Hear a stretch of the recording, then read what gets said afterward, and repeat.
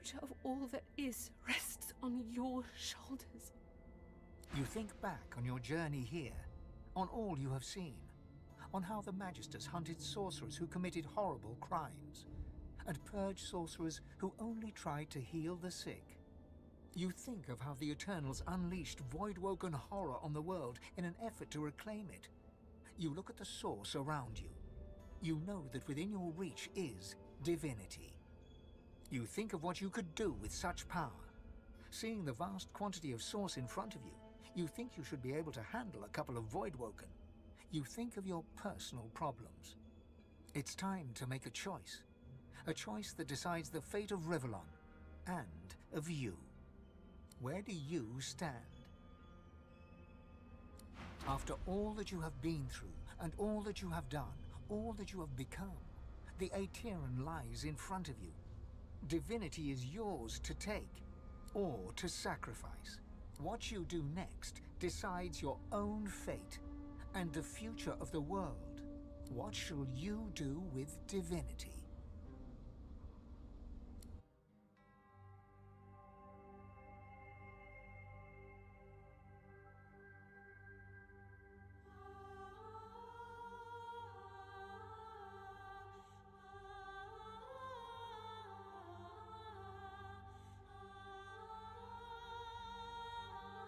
And so it ended. A tale that began with my own ill-fated attempt to rid the world of the Godwoken.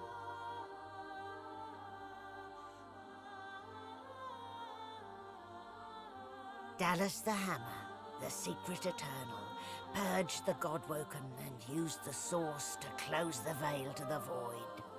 The world was saved. Statues in memory of the Godwoken who sacrificed their Source were erected all across Rivellon. They would never be forgotten. The half-demon Malady took pity on the soulless, God-woken silent monks and brought them to the Hall of Echoes. There, from the scraps of their souls that remained, she restored them to life. Sorcerers no more, they lived out the rest of their lives, freed of the burden of being the Godwoken, freed from the weight of the world. As for me, the Godwoken sacrifice severed the link that bound the Sworn to the God King, and I was finally free. To atone for my sins, I spent the rest of my days taking care of the sick and elderly, telling the story of the Godwoken, that the world may never forget the greatest heroes Rivellon had ever seen.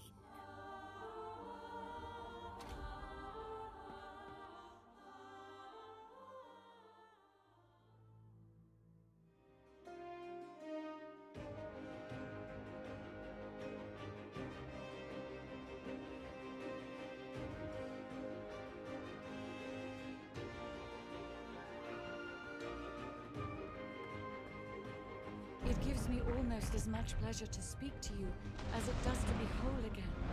I will always be an ally to those that carry Source, to those whose blood is of the heroes of old, and so, as always, I am at the ready. You look out to the endless beyond. The sun's light plays upon the waves, just as it always did. The sails flutter in the wind, just as they always will. And yet, something is different. You are different. And with a start, you realize where you must go next. You speak the command to the Lady Vengeance, and another chapter begins. At last, the world was at peace. The ancient Lizard Empire opened its gates. The houses disbanded, and the Empire adopted a pluralist quasi-democracy. Anyone could vote for whoever they pleased, as long as the House of Shadows approved. With their queen dead and the Void Woken gone, the dwarves held the greatest party in the history of dwarfdom. A new king took the throne, the local brewer. Six days later, he was stabbed to death with a mutton fork. Lucian made amends to the elves. He gave them lands and vast riches from the coffers of the old divine order. But the elves never forgave him. They would not trust humans again. And in a dark forest on the far side of a desert, well beyond the high seas, the Black Ring came together once more. The island of Fort Joy, the old redoubt of the Source King Braccus Rex, was turned over to the people of Driftwood to use as they wished. They turned it into a holiday resort. Reaper's Coast prospered. The fisheries returned, and the fertile farmlands produced the greatest harvests the surviving farmers had ever seen. Blood Moon Island became particularly fecund, its soil producing the greatest crops. A particularly crimson-fleshed orange grown on the island became a delicacy across half the world. The black pits took fire. The oil there burns still. Driftwood became a centre of industry, trade and transport. Lagan left his over-demanding wife and began a relationship with a local bard. In the spirit of loving generosity, he returned the ring to his now ex-wife. In a fit of rage, she threw it into the sea. The nameless isle had vanished.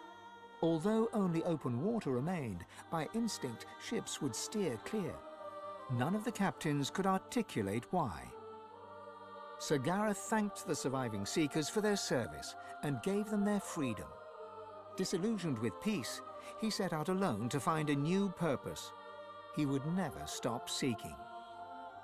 Young Han went into the theatre and became one of the realm's most popular actors. Almira and Mihaili settled down on the farm.